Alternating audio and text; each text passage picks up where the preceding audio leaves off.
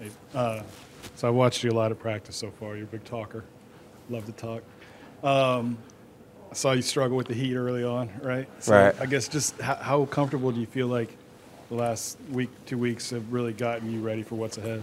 Yeah, you know, just uh, not playing football in so long kind of uh, got me early in the first couple days. Just trying to get back to the old me, and I always been that trash talking kind of guy. That's why I compare myself to like Jaire Alexander, just having that swagger and trying to bring that energy to the defense to uh, help us win games. Obviously, you know, the defense was a little behind early on, but it looks like you guys have caught up and, and played well. You and Zy on the other side, both kind of learning each other, learning the system, et cetera. Kind of take me through that progression that you've seen as far as getting up to speed and how comfortable are you right now? Um, yeah, just learning the defense more. Me, me being able to uh, actually run the defense, you know, I missed the spring. So now that I'm running the defense and learning it more, me being able to get more confident and more comfortable and being able to play by, like myself. And, you know, Zy doing this thing on the other side. So, you know, me and Zy trying to be the number one corner duo in the country if we can be. So that's just the goal to be DBU and bring, it, uh, bring DBU to that big stage again.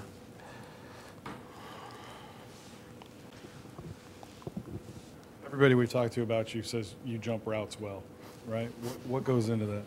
Uh, I wouldn't say I jump routes. I would just say more of a breaking before the receiver do or breaking because I just uh, a good break on the ball, just knowing the routes and knowing how uh, how routes and concepts work. So just uh, being ahead of the game helps me play faster and be more confident in my breaks. You really, you're good about not looking in the backfield, looking at your man and reading his hips kind of thing? Is like, Yeah, more of it just uh, yeah coming from my freshman year. I was that was what I say I was jumping routes more in my freshman year, and now my getting older and stuff, learning and experiencing. I wouldn't say I'm jumping things. More of a I just know how to uh, play the routes now, knowing the concepts and being more confident on breaking to the ball. obviously, you're an undersized guy. So, how, what do you make up?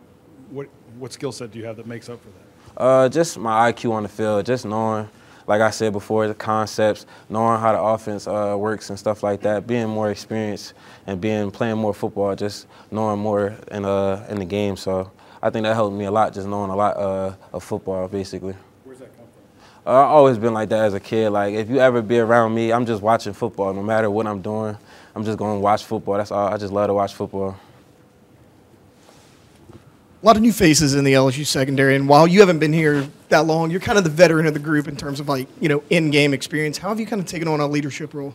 Um, just you know, helping helping each other out. You know, I'm not the only corner in the room, so and I know how I can get uh, losing a corner. You know how we lost Garrett Williams last year in Syracuse, and somebody needs to step up. So I know how uh, we need the whole room, not just the first two corners to uh, be great. We need everybody to be great. So knowing, um, just knowing the game and trying to teach the younger guys that, so they can be more confident and play faster out there.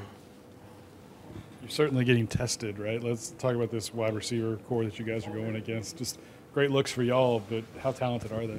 Um, very talented. You know, you got guys that got versatility all across the board. You know, you got different kind of guys. You got speed burners, you got route runners, and you got guys that can go up and get the ball. So every day you got to compete and work. Uh, if you're not competing, you're gonna uh, get embarrassed out there, basically. So every day you got to compete, and they're gonna give you good work.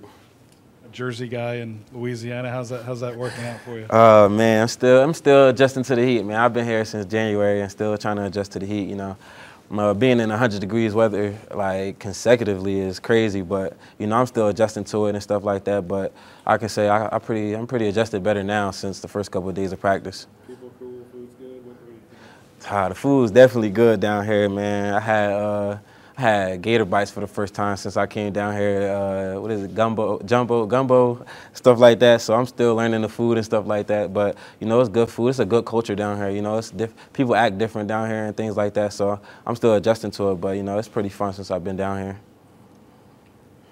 What's it like going up against guys like Jayden and Nuss every day in practice? Do they kind of do things to throw you off, or do you? Um, you know, we just a lot of trash talking. You know, me and Jay always talking, and, uh, and we uh, talked before camp like, oh, I told him you're gonna have zero percent thrown to me. So, you know, it's always trash talking. You know, just competitive stuff, just to make each other better, and um, just trying to go uh, win a championship. That's just the number one goal. I thought they had a good question for you over there. Just the idea of coming to the SEC to, to test yourself. Uh, Is that is that a real thing for you? Uh, that's definitely a real thing. You know, everybody says the SEC is a, uh, is the closest thing to the NFL. So you know, just wanted to come get the competition and uh, better myself on getting ready for the next level. Obviously, yeah, in the SEC, but you're a guy that you know you had a lot of hype in the transfer portal. Kind of could have went anywhere. What was it about LSU in this program that brought you here? I mean, LSU is DBU. Uh, everybody knows that. Any school that says they're DBU just is trying to be a part of the conversation. LSU has always been DBU. I kind of watched guys like Patrick Peterson and Tyrann Mathieu growing up. So LSU's been my dream school since a child. Everybody know I wanted to go to LSU coming out of high school. Obviously, things ain't go that way, but you know, God plans and able to get me here, and uh, I'm just grateful for it.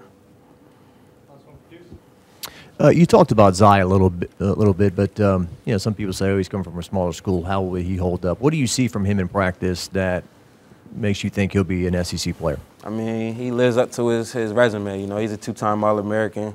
You wouldn't think he came from a lower school. He's just out here competing and doing what he's supposed to do, and he's gonna be he's gonna have a big year this year.